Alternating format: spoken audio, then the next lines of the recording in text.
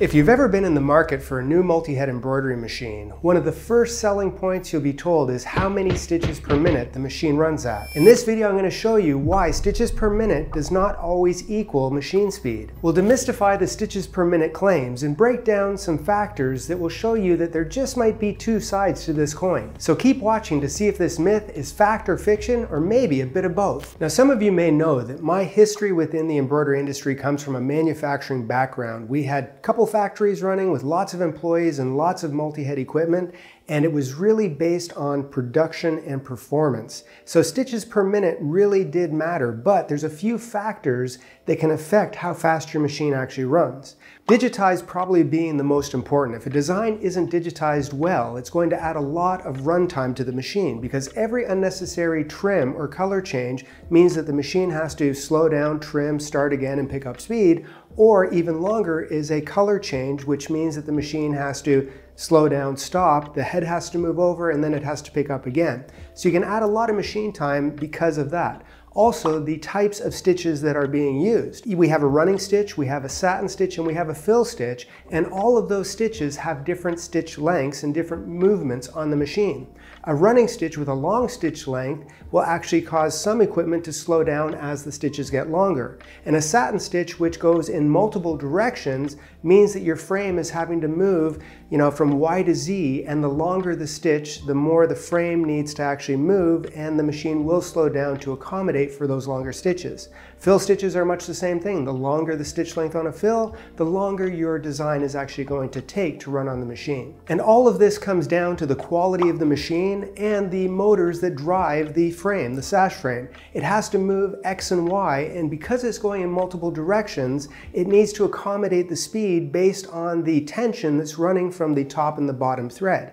And that's really where you get a lot of slowdowns in a lot of machines. And it's kind of like driving a you know, car. If you are driving a car and you're going really fast, you have no problem going fast if you're going in a straight line. But as soon as you have to make a turn, or you have to stop, or you have a roadway that has lots of little weaves in it, you need to put on the brakes a little bit to accommodate how you're going to be driving and what the road surface is like. Digitizing and embroidery are very much the same type of thing. So here's how this experiment is going to go down. We have three different machine brands. One is a Babylock Brother 10 needle machine with a maximum speed of 1,000 stitches per minute. The next is an offshore 1501 machine that also has a maximum speed of 1,000 stitches per minute.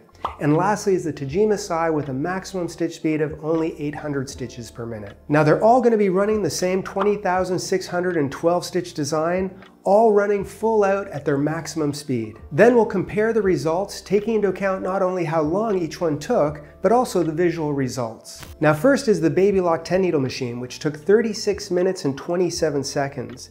The machine ran really smoothly, the registration is good, the design looks great. The only thing is the machine significantly slowed down when doing longer stitch lengths, and it would speed up when doing shorter running stitch lengths. So really the main thing with this design and the 10 needle machine was the speed drastically slowed as stitch lengths got wider. Next is the 15 needle crossover machine, which took 32 minutes and 21 seconds. And the really strange thing about this one is the machine speed really varied depending on the stitches where it was placed in the design. Some of the running stitches ran at almost full speed, about 900 stitches per minute, while other areas slowed down to 400 stitches per minute in some of the longer satin stitches within the design.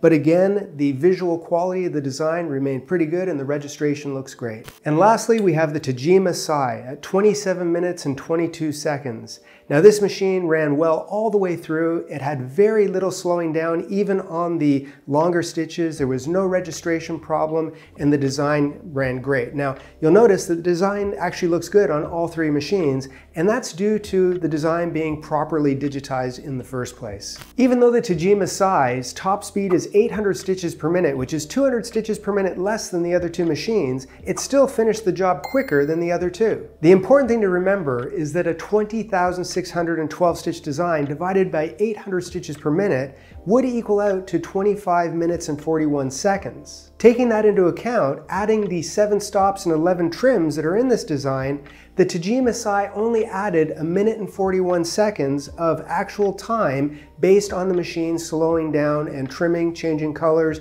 and moving ahead, which shows you that it did run consistently at 800 stitches per minute, while the others, even though they are sold at 1,000 stitches per minute, the actual stitches per minute is much less. Now to be fair, this comparison was done with one brand which is considered a crossover machine, meaning that it's not really considered a true commercial grade machine, and one of the many offshore brands that are recently flooding the market. Had we performed the same test against one of the Tajima Sai's big brothers or any other reputable machine manufacturer, the results would have been much different. Now if you'd like to run your own test, click the link in the description to download this design for free and see how long your machine takes to stitch it out. Looking for the best beginner embroidery multi-needle machine? Meet the Tajima Sai, precise, reliable, and user-friendly. Unlock exclusive bonuses by filling out the form on our website. We'll connect you with an official Tajima partner to complete your purchase and claim your rewards. Elevate your embroidery today and click the link below to learn more. So to answer the question if stitches per minute are fact or fiction, it comes down to the chosen machine.